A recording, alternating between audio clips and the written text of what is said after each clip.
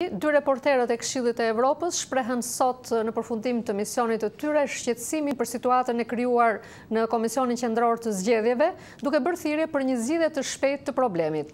Ata deklaruan se është detyrim i forcave politike të ndërtojnë besimin tek populli shqiptar për realizimin e zgjedhjeve të lira dhe të ndershme. Javën e ardhshme ata pritet të paraqesin raportin e tyre pranë Komitetit Monitorues të Këshillit në Strasburg, duke qenë se Shqipëria është ende një vend nën monitorim. Të ndjekim nga Tirana korrespondentin tonë Armand Mero. Dy raporterët e Strasburgut qëndruan tre ditë në Shqipëri në një mision vlerësimi mbi angazhimet e vendit ndaj standardeve të Këshillit të Evropës për demokracinë, respektimin e sundimit të ligjit dhe mbrojtjen e të drejtave të njeriut. Si shpjeguan dhe ata vetë, roli i tyre është të vlerësojnë nëse Shqipëria është në gjendje të përmbushë detyrimet e saj, përfshirë sigurimin e demokracisë parlamentare dhe zgjedhjet e lira e të ndershme sipas standardeve të Këshillit. Our visit has coincided with a period of turmoil. Vizita jonë ka përkuar me një periudhë të trazuar në lidhje me përbërjen e Komisionit Qendror të Zgjedhjeve, një organ që ne besojmë se jo vetëm duhet të jetë i pavarur dhe i paanshëm, por ka dhe një rol vendimtar në sigurimin e zgjedhjeve të tilla. Situata e krijuar në Komisionin Qendror ka zanafillën te vendimi i shumicës së djathtë për të zëvendësuar anëtarin e propozuar nga Lëvizja Socialiste për Integrim pas daljes së saj nga qeveria dhe aleancës me socialistët, një vendim të cilin opozita e kundërshtoi fort si një dhunim të Kushtetutës dhe institucionit të KQZ-së e mbi të cilin ngritën pikëpyetje të forta edhe përfaqësuesit e komunitetit ndërkombëtar. Situata u përkeqësua pas dorëheqjes së dy anëtarëve të propozuar nga Partia Socialiste e më pas dje me pezullimin e aktivitetit të tij edhe të një anëtari të tretë, Jani Jani, propozuar nga PBDNJ.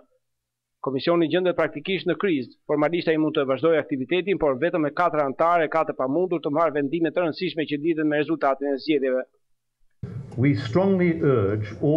Ne nxisim fuqimisht të gjitha partitë politike të bëhen bashkë në mënyrë urgjente dhe të zgjidhin çrregullimin aktual që po ndikon në funksionimin e KQZ-së. Reporteri Jonathan Evans nënvizoi rëndësinë që ka krijimi i besimit të qytetarëve te procesi zgjedhor. We consider that there is an obligation on Ne mendojmë se ka një obligim për të gjitha partitë politike shqiptare për ndërtimin e besimit mes popullit shqiptar për realizimin e zgjedhjeve të tilla të lira e të ndershme në muajin qershor këtë vit.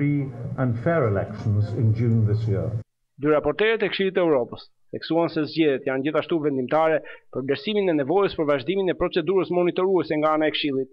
Shqipëria është anëtare që prej vitit një mijë e nëntëqind e nëntëdhjetë e pesë, por ajo është ende nën monitorim së bashku me nëntë shtete të tjera. Ne presim gjithashtu progres në të ardhmen në lidhje me kërkesat e vetë Këshillit të Europës për luftën kundër korrupsionit dhe forcimin e pavarësisë së gjyqësorit. Kanë shprehur gjithashtu shqetësime në lidhje me nevojën për vendosjen e pavarësisë së Autoritetit Rregullator të Medias dhe për mbrojtjen e këtij organi nga ndërhyrjet politike. Ndërkohë Komisioni Qendror i Zgjedhjeve ka vazhduar aktivitetin e tij. Sot ai miratoi edhe listën prej gjashtëdhjetë e shtatë partish që do të marrin pjesë në zgjedhje. Javën e ardhshme duhet të dorëzohen edhe koalicionet në garën e njëzet e tre qershorit. Socialistët firmosën sot marrëveshjet elektorale me dyzet e tre forca politike, mbetet zyrtarizimi me Socialdemokratët, Demokracinë Sociale dhe Lëvizjen Socialiste për Integrim, ndërsa është ende e paqartë marrëdhënia me Aleancën Kuqezi dhe Partinë e Bashkimit të të Drejtave të Njeriut. Për Zërin e Amerikës, Armand Mero, Tiranë.